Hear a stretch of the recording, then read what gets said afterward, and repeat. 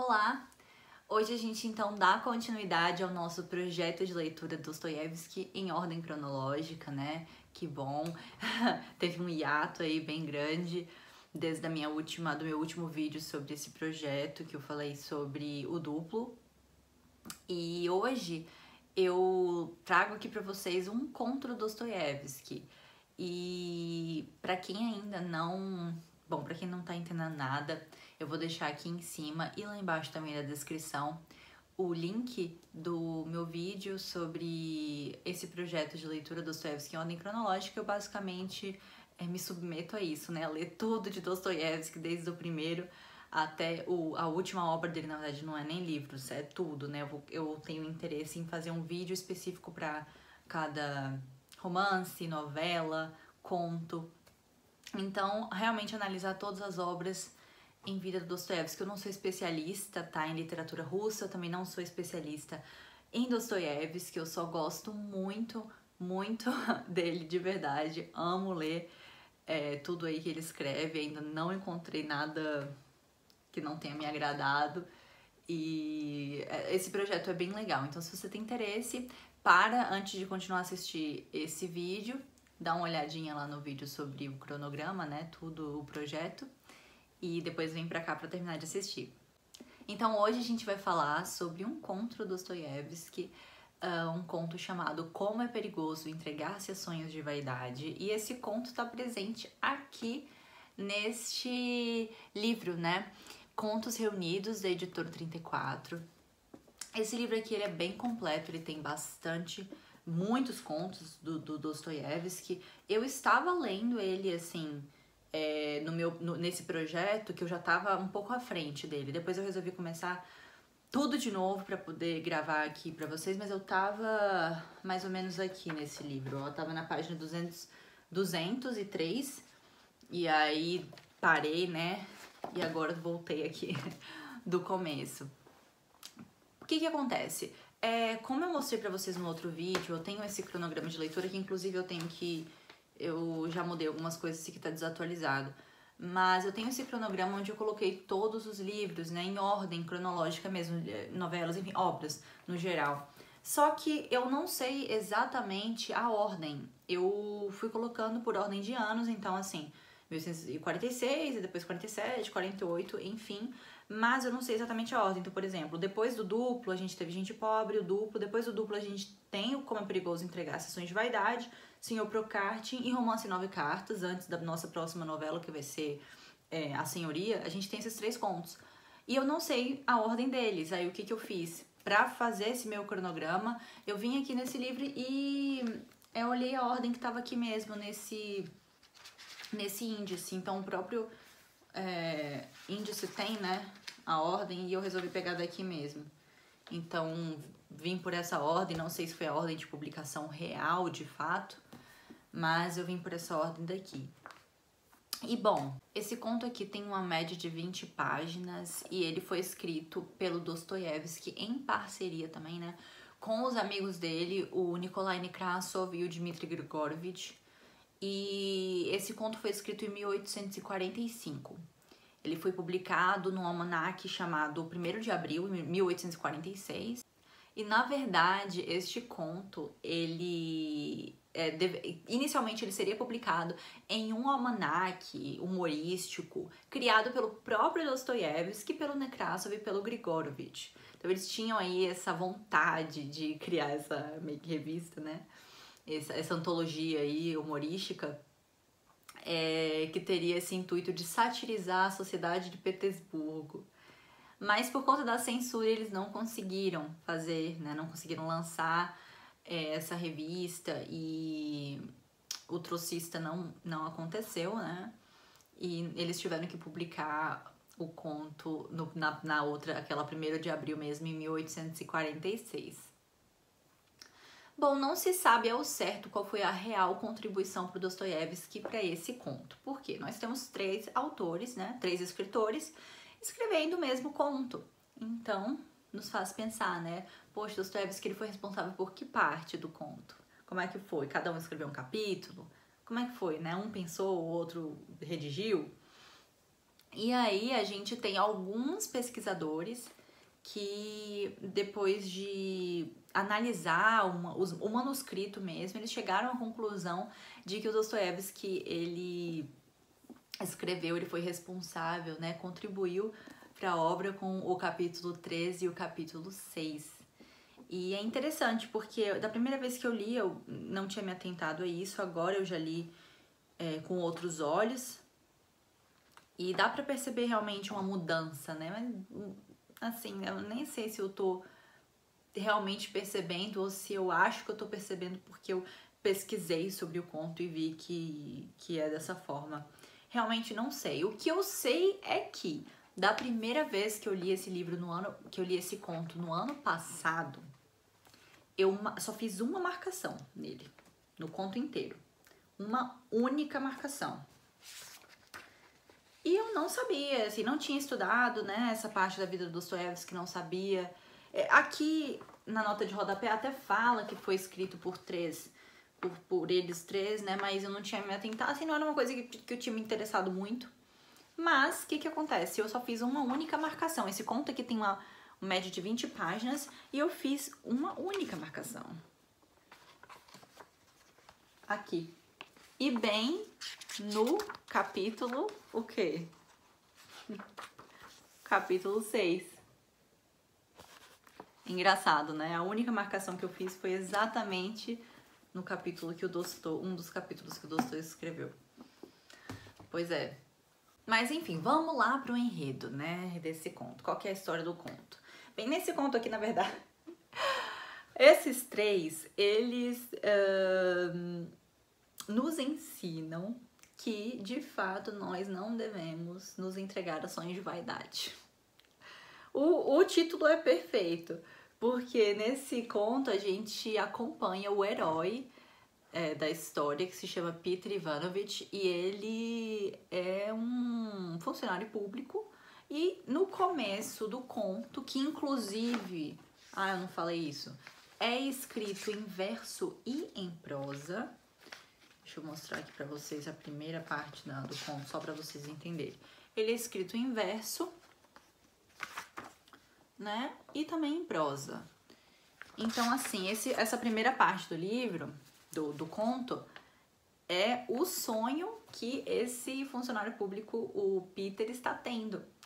É um sonho muito louco, onde ele é é, proprietário de várias terras com mil almas, né? Tipo, praticamente dono daquela da cidade onde as terras ficam. E ele é muito amado, né? Todos respeitam, o respeitam muito. E, enfim, ele é dono de todas aquelas almas, de todas as, as terras e tem a vida muito feliz. Inclusive, ele, ele é casado, né? Mas na, no sonho dele ele tá com outra mulher. Então, assim, é uma vida completamente diferente onde ele tem aqueles sonhos. Bom, ocorre que enquanto ele tá lá sonhando e a gente tá lendo, né, esse verso do sonho dele que é muito interessante, eu achei interessantíssimo. É, esse, como se fosse um poema, né, do sonho dele. Enquanto ele tá lá sonhando, entra um ladrão na casa deles. Ele tá lá dormindo com a esposa, tranquilamente. E entra o ladrão. O ladrão rouba um monte de coisa na casa, inclusive a roupa dele, que tava lá separadinha para ele usar no dia seguinte. E ele acorda chocado, assim. É, não sei se ele escuta, né? E acorda, vê o ladrão e sai correndo atrás dele, mas sem colocar a peruca, sem tirar as roupas de dormir, né? Sem colocar a roupa dele de sair. Que assim, a gente não sai de casa com a roupa que a gente dorme, né? Então, assim, ele sai correndo atrás desse ladrão quase, alcan quase o alcança, mas não consegue. Aí sai correndo na rua atrás do ladrão, corre, corre, corre, que nem um louco, sem peruca, sem nada, mais parecendo um louco, né? E acaba encontrando na rua o chefe dele. Na hora que a gente tá lendo, a gente, a gente sabe que é um conhecido, sabe que ele, ele fica muito é, chocado, muito sem graça por estar encontrando aquela pessoa ali. E depois ele volta para casa, né? Assim, aí acontece cada coisa com ele. Só para vocês terem uma noção.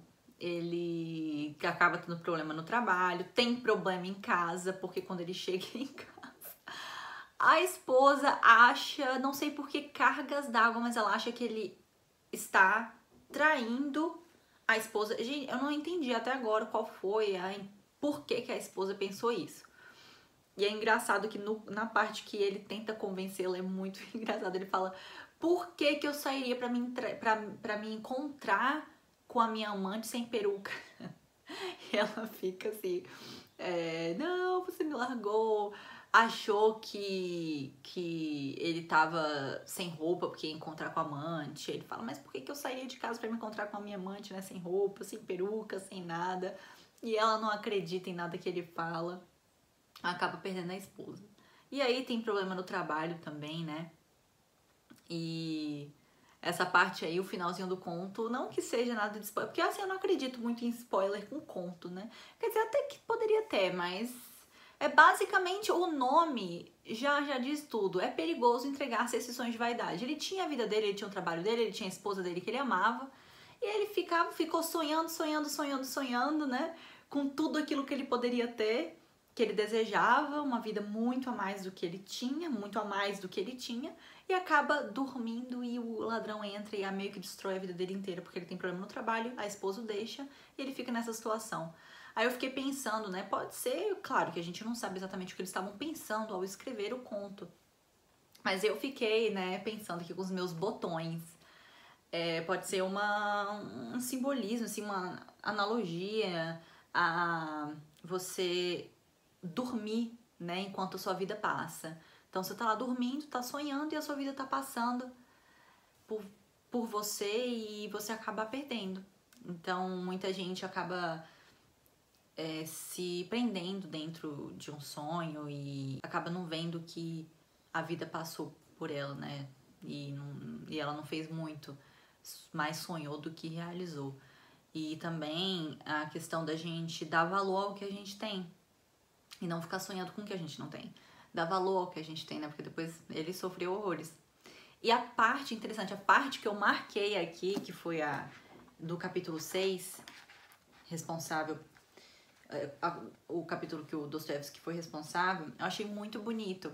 E é quando ele tá pensando, ele já tá sem a esposa, ele tá pensando, não foi pro trabalho, que ele ficou com tanta vergonha do chefe dele que ele acabou não indo pro trabalho. E aí ele tá aqui na dúvida se ele vai pro trabalho ou não e ele pensa isso aqui. É interessante, ó. Empregou três dias para curar os diversos machucados e manchas azuis. Ah, porque ele saiu correndo, né, atrás do ladrão. Caiu no chão, enfim. Aí empregou três dias para curar os diversos machucados e manchas azuis e para se assegurar de que era benéfica a decisão de não desanimar. Lembrar-se de que as provações que nos são enviadas neste vale de lágrimas servem para elevar a coragem espiritual e de que o homem não necessitaria de uma alma imortal caso se aniquilasse e sucumbisse à infelicidade.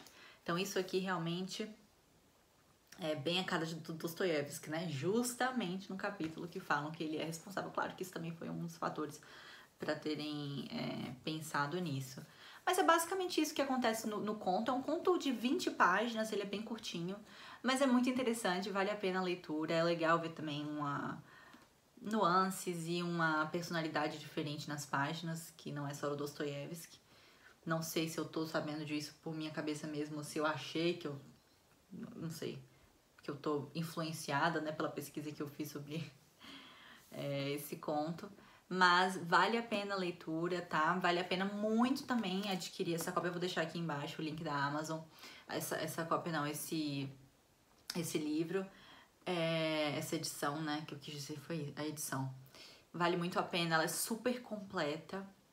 E a editora 34 é um capricho, né, gente? Repleto de, de, textos de apoio, tem alguns textos aqui. Esse primeiro texto aqui, que eu, inclusive tem muita marcação, é um texto interessantíssimo de apoio. Provavelmente eu vou falar sobre algumas coisinhas dele aí nos próximos vídeos. Então é isso por hoje. O meu próximo vídeo vai ser sobre o Sr. Procarte. Até hoje eu não sei como é que se pronuncia, se é Procarte ou Procarte. É Procarte mesmo. tem um acento. Agora eles estão colocando os acentos nos nomes, né? Eu tô tentando aprender russo, já aprendi o alfabeto e algumas coisinhas, palavras, é... frases do dia a dia, né? É uma língua muito bonita. Eu tenho o sonho de aprender a ler em russo para ler o Dostoiévski no original. Outros também que eu gosto muito, mas o foco principal é Dostoiévski, né? Quem me conhece sabe. Só eu mesmo para aprender russo com esse não só com essa, com essa vontade, porque eu também tenho vontade de ir à Rússia, seria ótimo falar russo lá.